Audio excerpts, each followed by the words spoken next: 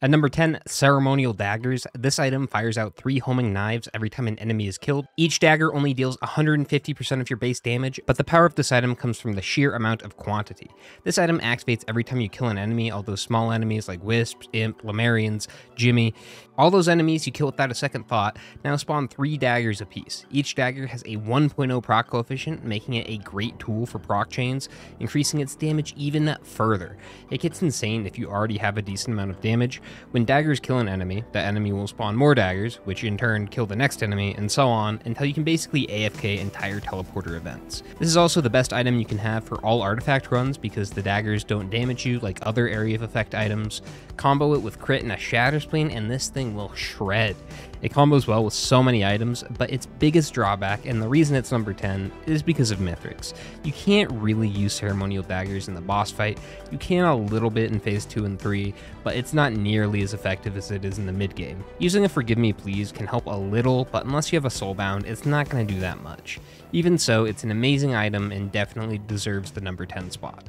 At number 9, Unstable Tesla Coil. Fire out Chain Lightning that hits 3 enemies for 200% base damage every half second, or 400 damage a second. Tesla is a very universal item. There's not a single character it's bad on, it's just extra damage for free, and quite a bit of it at that. Tesla turns off and on every 10 seconds, so it'll be active 50% of the time, which is quite a bit. This is an amazing tool for taking out smaller enemies that overwhelm you. Are you tired of these little shits coming out of nowhere and kamikazing you, ending your run? Well, Tesla is a great way to deal with Larva and Jimmy. Wisps and blind pests are no longer a threat with this item. This item just spits out damage, and like ceremonial daggers, Tesla is another great item for going AFK. It does best in situations where there are a lot of enemies on screen due to the lightning being able to chain off multiple enemies, kind of similar to a ukulele. But it works great in single target situations too, including Mithrix. A lot of red items don't really work in the boss fight. Tesla and many of the items coming up are exceptions to this. Just be careful in phase 4 and keep your distance from Mithrix unless you want to be barbecued. When enemies have this item, it can be kind of rough. With Mithrix, it's easy to avoid, but scavs can also get it, and God forbid this item is given to enemies in void fields. If that happens, all I can say is good luck. At number 9, Shattering Justice. After hitting an enemy 5 times, reduce their armor by 60 for 8 seconds. Now, armor is a mechanic that is usually discussed in reference to items like Opal and Rose Buckler, but in the case of Shattering Justice, it applies negative armor to enemies. Most regular enemies in the game have no armor, with the exception of Solus Probes for some reason, but ignoring that, this means the Shattering Justice debuff will make normal enemies take 37.5% more damage. Now, in reality, you won't see that on every enemy since it requires hitting the enemy 5 times before it activates, so smaller enemies like Wisps and Jimmy will often die before the fifth hit. But this is just a regular enemy. Most bosses have an armor stat of either 15 or 20. You might think this would make Shattering Justice worse on bosses, but it's actually the opposite. Shattering Justice increases your damage to bosses by about 45%. And because bosses are so tanky, this will be working on basically every boss you fight. Healing 45% more damage from a single item is great value, especially when multiplied with other items. Shattering Justice can also synergize with Deathmark, an item that increases your damage by 50% when an enemy has 4 debuffs.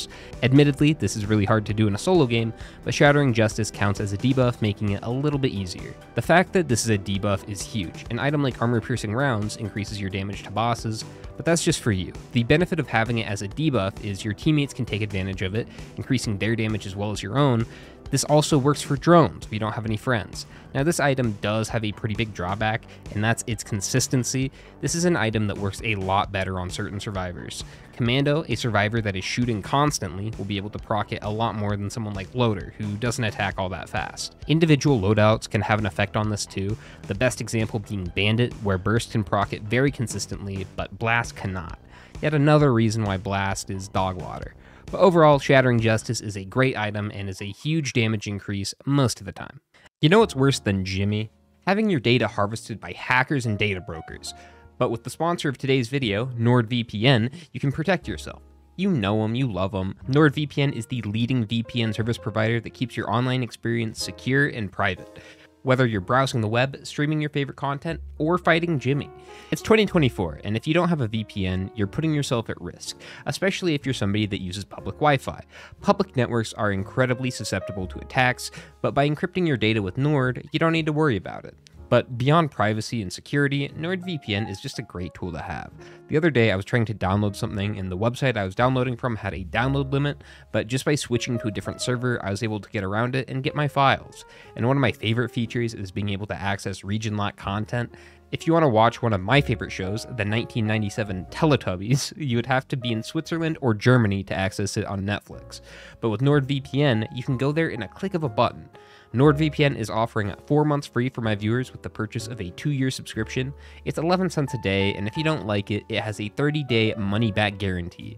Go to nordvpn.com slash disputed origin or click the link in the description to take advantage of this offer. Thank you, Nord, for sponsoring this video. At number 7, ICBM, all missiles and equipment fire an additional two missiles. I don't know if I need to explain just how overpowered this DLC item can be. ATG and Plasma Shrimp are already some of the best items in the game, so an item that makes them three times stronger is to be pretty nuts. This item even opens the door for firework builds with a remote caffeinator, and if you have a firework build with a Plasma Shrimp, you've basically already won. This is by far one of the coolest items in the game. There's nothing quite like watching thousands upon thousands of shrimp coming out of your tiny little character model. That's somebody's fetish, I'm just saying. This item is also amazing on Engineer, assuming you're using harpoons, which you probably should be. I'm not your dad, but it's probably a good idea to ditch the bubble shield at this point. Outside of Engineer, though, this item can be really inconsistent. The problem with ICBM is it doesn't really do anything on its own. It enhances the power of other items, but if you don't have any of those items, ICBM is effectively a paperweight in your inventory. In my experience, there's a 50 50 shot whether or not you'll find it in a run where you can actually utilize it, so for that reason, I couldn't justify putting it any higher. At number 6, Symbiotic Scorpion. This item has a 100% chance to permanently reduce armor by 2 every hit. This item is very similar to Shattering Justice, except it's better in almost every way. Like Shattering Justice, it is a debuff, but instead of lasting for 8 seconds, it's permanent, and it doesn't cap at 60 armor.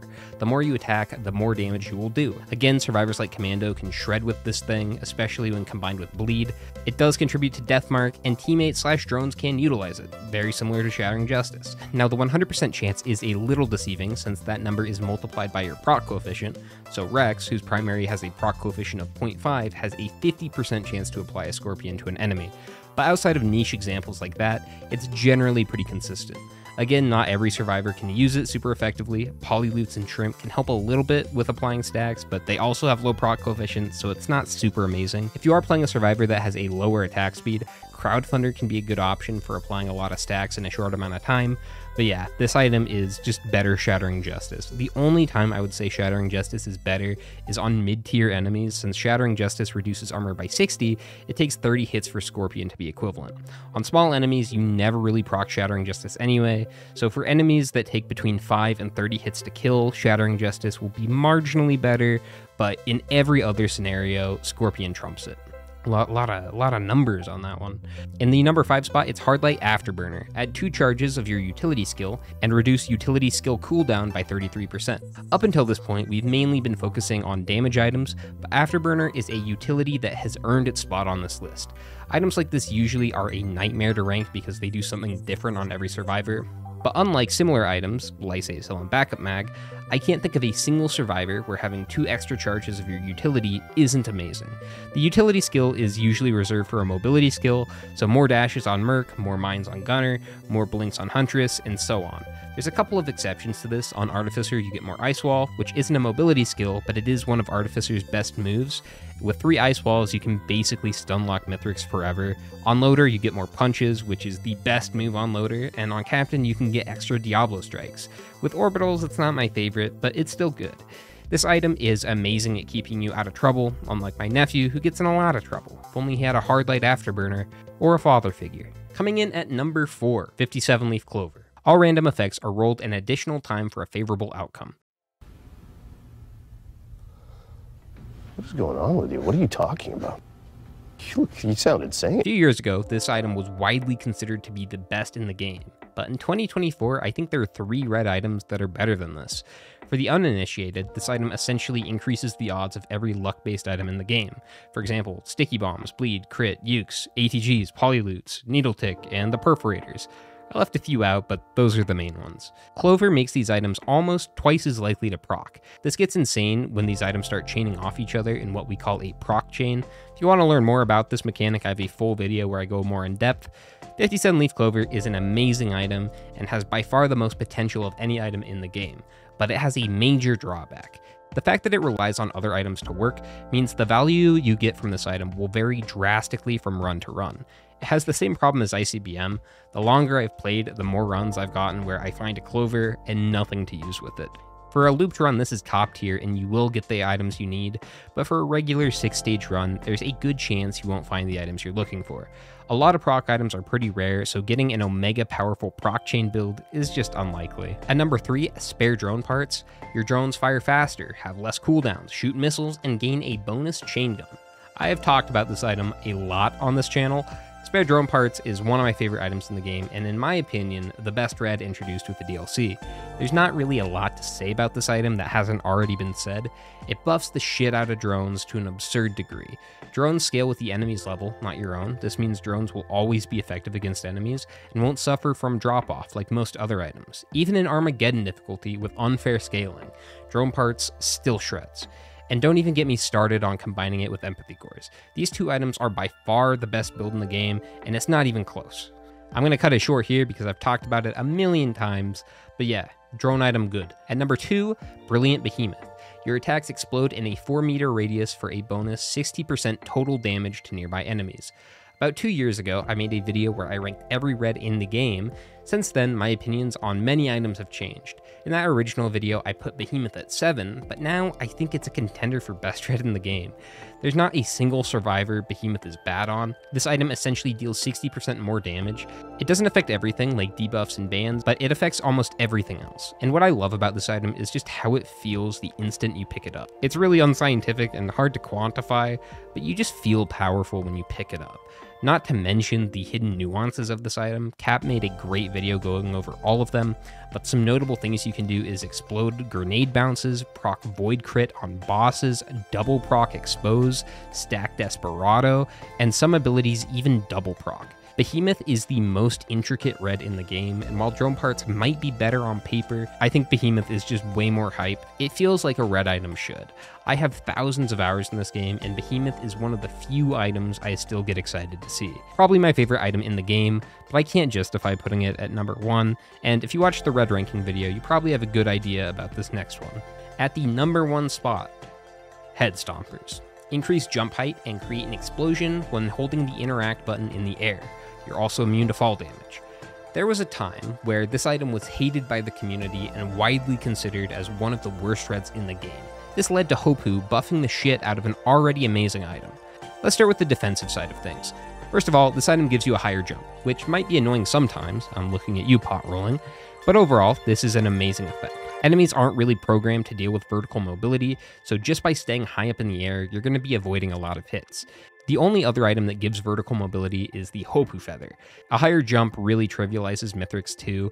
He really just can't hit you. You also don't take fall damage, which isn't a huge deal in Monsoon, but in Eclipse, fall damage is doubled and can kill. So this item just straight up removes one of the hardest modifiers. This item is also a pillar skip. It used to require a quail and some speed to skip, but with the new host skip method, all you need is a headset. But that's not all. This item is also one of the strongest damaging items in the game. Stomping from max height deals 10,000% of your base damage and has a maximum area of effect of 100 meters. That's pretty good. Head Stompers is in a league of its own, and by far the best red in the game. But that's going to be it for today. Let me know if you agree with my ranking. As always, these lists are very flawed, so I kind of just go by feel. There's no way to objectively rank them. That said, I'm pretty happy with the way this one turned out. Thank you guys so much for 100,000 subscribers. I started YouTube about five years ago, and I'm really happy that I still get to do it. And an extra special thank you to my members for supporting the channel, and I will catch you guys in the next one. Ta ta for now.